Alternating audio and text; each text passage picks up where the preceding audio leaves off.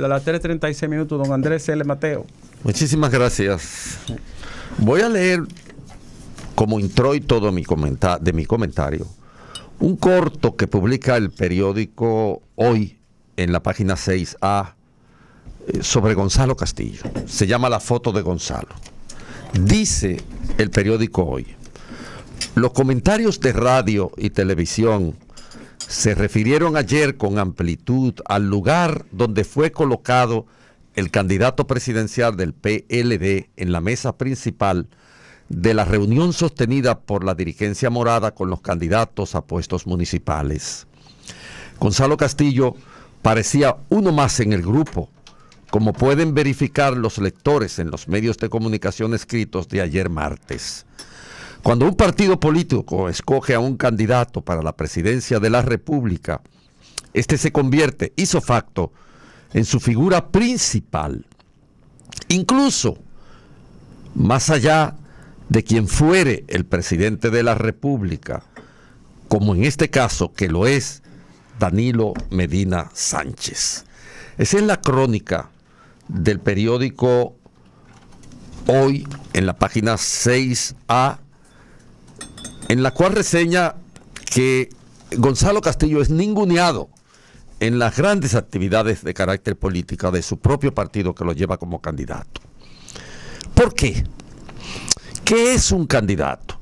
La palabra candidato viene del mundo romano y quiere decir cándido, aunque la gente le resulte chocante que hoy esa palabra tenga una connotación tan negativa.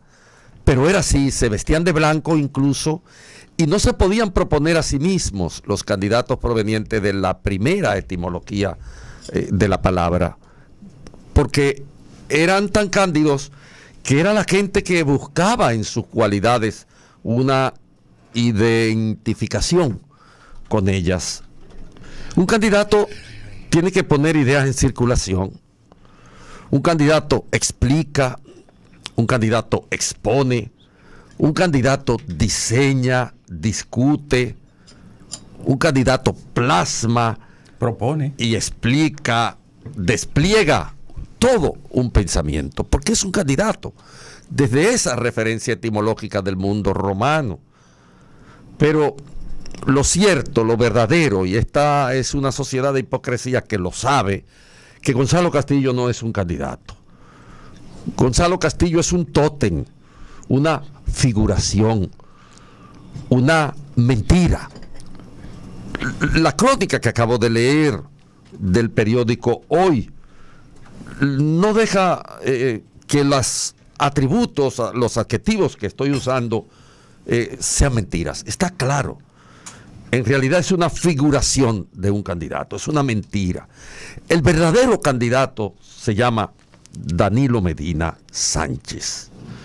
Ustedes recordarán que en los primeros días en que Gonzalo Castillo fue elegido candidato del Partido de la Liberación Dominicana, el presidente Danilo Medina Sánchez lo sustituyó en un evento en el que se configuraban las ideas de las estrategias electorales. Y lo dijo con su propia palabra, hay que cuidarlo. Yo lo voy a sustituir para que él no hable. Y todo el mundo se preguntaba, ¿cuidarlo eh, de qué y de quién?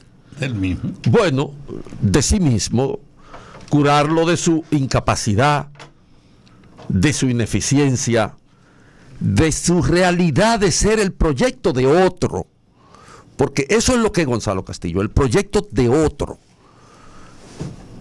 Pero vale también hacer una reflexión en positivo. ¿Por qué entonces es Gonzalo Castillo el candidato y no cualquier otro de los que se postularon. Allí estuvo, por ejemplo, una figura como Domínguez Brito, Reinaldo Pared Pérez, que no ha, no, no se ha doblegado a lo que ocurrió realmente ahí dentro, no se ha doblegado para nada, eh, no ha participado de esa fantasía del candidato eh, falso porque el verdadero estaba moviendo los hilos detrás. Reinaldo se ha apartado correctamente, quizás el único que ha tenido dignidad de todos los que postularon en la precampaña.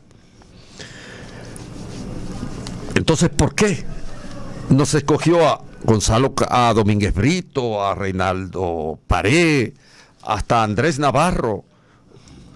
Bueno, porque cada uno de estos encarnan en sí mismo un proyecto político y tienen aspiraciones reales. No son la cartografía y maquinaria de otro. No son un alter ego. Son un proyecto que quería cuajar como candidato. Pero hay algo más concreto. ¿Por qué el presidente Medina, mucho antes incluso de lanzar estos candidatos de alitas cortas, como le decían, había ya seleccionado a Gonzalo Castillo como su candidato, como su representación? Porque Gonzalo es más afín a la concepción patrimonial del Estado del presidente Medina que ninguno de los otros candidatos. Y es parte del negocio que se ha instalado en el Palacio Nacional en estos últimos ocho años casi, como política de Estado. Esa concepción del negocio, esa concepción de la corrupción como política de Estado. Es parte sustancial de ella, está vinculado a ella, es socio, es cómplice y es parte de ese engranaje de la corrupción en el que la sociedad dominicana ha vivido en los últimos tiempos. El plan A del presidente Danilo Medina se cayó, que era obligar por las vías que fueren al Congreso a emitir una aprobación de su eh, eh, segunda reelección.